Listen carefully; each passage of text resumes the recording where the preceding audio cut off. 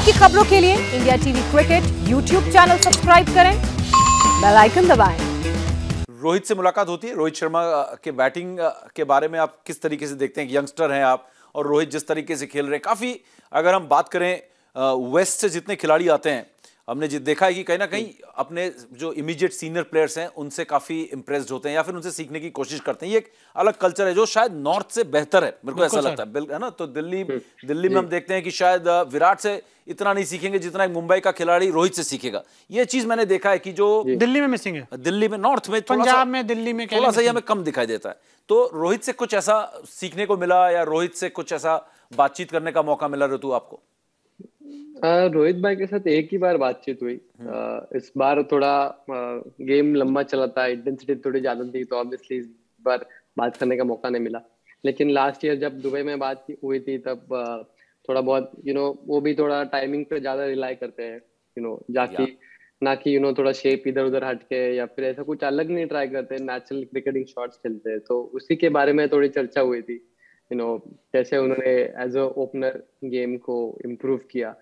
No मेरा भी almost uh, क्या बोल uh, एक शुरुआत ऐसी हुई थी कि मिडिल मिडिल ऑर्डर से स्टार्ट हुआ था और फिर uh, जब महाराष्ट्र के लिए डेब्यू किया रणजी ट्रॉफी फ़र्स्ट क्लास में तो एज ए ओपनर डेब्यू किया। सो आई थिंक शुरुआत शुरुआत भी वैसे हुई थी सो ऑब्वियसली उनसे ये चीज़ लेना लेना मैंने ज़रूरी समझा कि you know as a opener उन्होंने कैसे इम्प्रूव करते गए। ऑब्वियसली बहुत सारे आपको चेंजेस करने पड़ते हैं तो वही चीज़ के बारे में थोड़ी बहुत बात की ये यार ऋतु बताओ ये चेंजेस क्या करने पड़ते हैं? एक टेस्ट ओपनर बनने आपने कहा ना मिडिल ऑर्डर से आप ऊपर आए हो।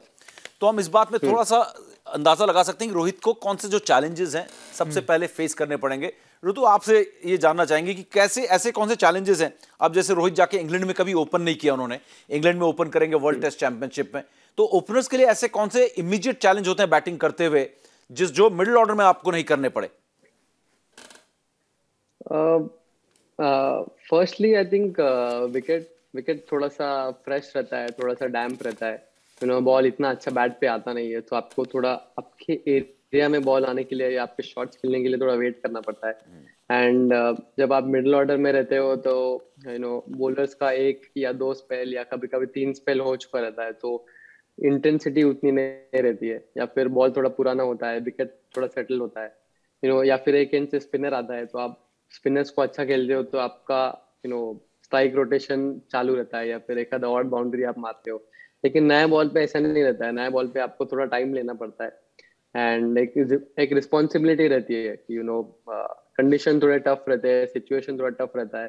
तो इसमें आपका कोशिश, आप ये कोशिश करते हैं कि आप टेन टू फिफ्टीन ओवर्स कैसे न्यू बॉल को हैंडल कर सके ताकि जो मिडिल ऑर्डर है, उनको जितना लेट आप गेम में लाए। उतना टीम के लिए बहुत बेहतर हो जाता है।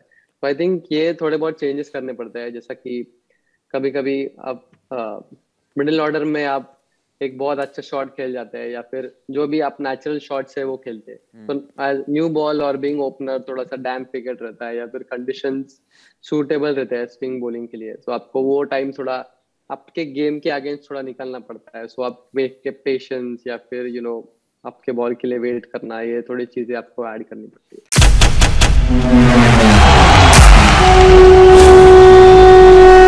मैदान पर जब विराट का बल्ला चलता है तो खबर बनती है। और क्रिकेट की हर खबर बताते हैं हम आपको India TV cricket YouTube channel पर। तो ज़रूर करें सब्सक्राइब और भूलें ना बेल आइकन दबाना। जुड़े रहें इंडिया टीवी के साथ।